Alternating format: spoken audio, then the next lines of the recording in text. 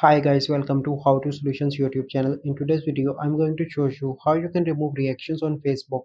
Before getting into this video, must subscribe to our YouTube channel and click on the bell icon. The first step is you need to do is to open Play Store and search here Facebook and update your Facebook application. Once you've done that, you simply need to go and open Facebook and then you need to click on three bars in the top right and then you need to click on settings and privacy and click on settings. And here you need to scroll down and you can find the option of activity log. Click on that option.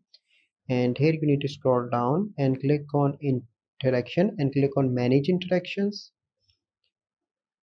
And here you can see that your all reactions. So you can see that this is my recent reaction. If you want to delete you can simply click on three dots and click on remove reaction so you can see that that reaction is removed. And if you want to remove all reactions then you need to select on all.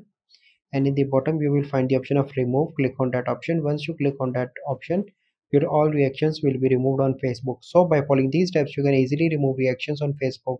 I hope you find this video helpful. If you find this video helpful must like this video subscribe to our youtube channel for future videos. We'll see you in the next video. Thank you. Have a good day